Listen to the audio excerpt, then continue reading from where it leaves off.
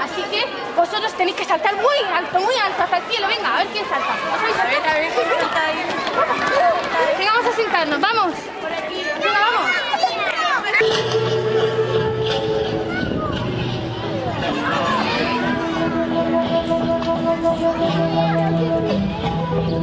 Buenos días, niños y niñas. Paz y bien, me presento. Soy el juglar de Dios. Pero, ¿vosotros sabéis lo que es un juglar? ¿No lo sabéis? Un juglar es una persona que ha visto todas las maravillas de la tierra. Todas las maravillas que ha hecho Dios. Y se las quiere contar a todo el mundo. Hoy vengo para contaros una historia de dos amigos capuchinos de Francisco. Y ¿sabéis de quién eran también muy, muy amigos? ¿No lo sabéis? ¿Sí? ¿De quién? No, bueno también, pero eran muy amigos de una tribu de la selva de Ecuador y se llamaban los Guaorani. Sí, y a los guaorani les encantaba vivir en la selva, entre árboles, pájaros. ¿Y sabéis por qué le gustaban también mucho la selva? Porque les daba para su Si tenían mucha hambre, cogían, cogían una cerbatana, se escondían y cazaban un animal. Y si se juntaban una familia de guauranis, siete u ocho guauranis, no se iban a un restaurante como hacemos nosotros con nuestros papás. No, ellos cogían una lanza y cazaban animales más grandes. A los guaurani les encanta la selva. Por eso, cada vez que yo levante mis manos así, vamos a decir todos guaurani, ¿vale? Vamos a practicar. ¡Guaurani! Otra vez. ¡Guaurani! No os oigo, ¿eh? Muy bien. Una vez Alejandro, un amigo capuchino, fue a ver a los y les explicó como pudo, porque no sabía hablar su idioma, que se quedaba ya a dormir. Los guaurani, en cuanto lo entendieron, señalando sus flechas, fueron a la selva. Alejandro pensó que iban a la selva para coger material para hacer flechas, pero cuando llegó se encontró con una chonta gigante. ¿Pero vosotros sabéis lo que es una chonta? Una chonta es un árbol muy del que se sacan fibras para hacer camas. Pues a Alejandro habían ido a hacerle una cama, una cama donde podía pasar la noche. Y Alejandro se acostó en la chonta y como estaba un poco gordito, la ocupaba entera. Y los guauranis se rieron mucho y volvieron al pueblo. Y llegó la noche todos dormían. A los las casas de los guaurani tienen una sola habitación. En una parte de la habitación están las camas donde duermen todos juntos y en la otra el, el fuego para calentarse.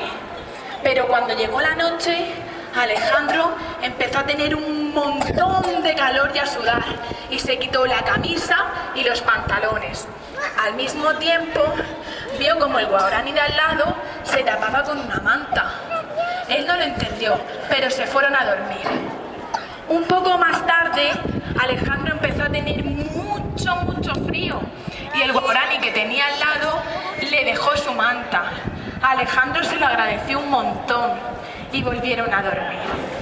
A medianoche despertó y vio como una anciana estaba avivando el fuego para que no se enfriara, mientras que cantaba una canción. Era algo parecido a esto.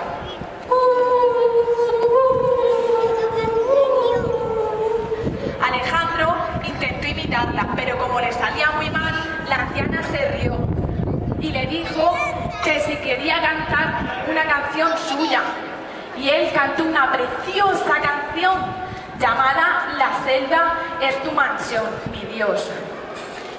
Volvieron a dormir y a la mañana siguiente Alejandro despertó con mucha alegría y muchas ganas de explicarle a los guaurani que estaba muy agradecido y que formaban parte de la misma familia. Entonces se puso frente a Paua, el jefe de la familia de los guaurani y su mujer, Inigua, y arrodillándose frente a ellos y acariciándole la cabeza. Inigua, su mujer, le, le dijo un discurso para saber cómo debía comportarse en la selva.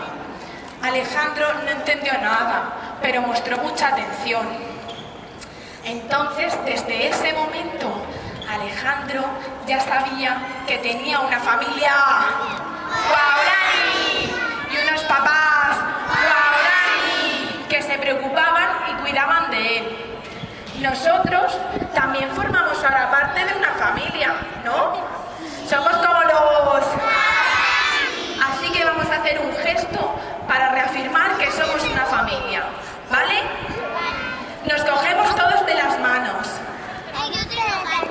y acariciándonos con los ojitos cerrados pensamos que como Alejandro y los Guaurani somos todos una familia, hermanos, padres, una familia. Muy bien. Lo estáis haciendo muy bien, pero con los ojitos cerrados. Así, acariciándonos las manos, dándonos cuenta que somos como Alejandro y los Guaurani.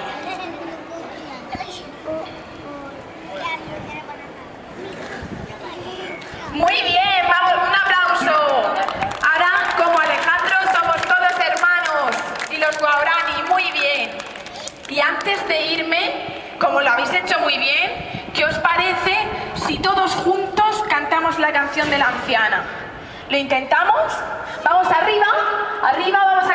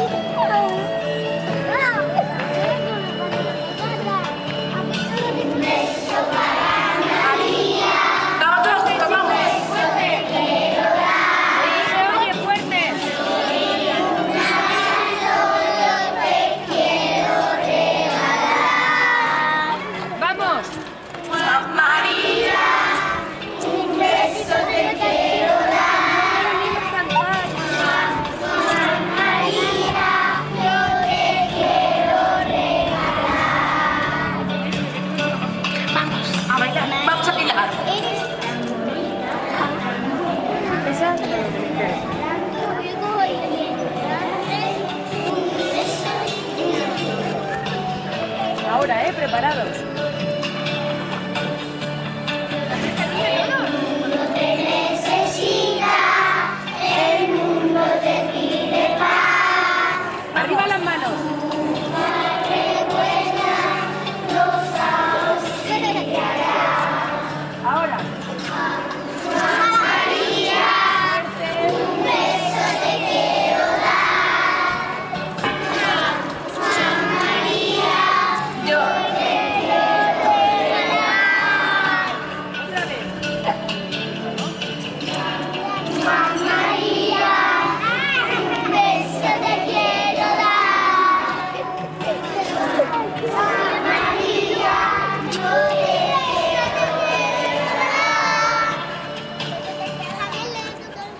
Y Muy ahora, bien.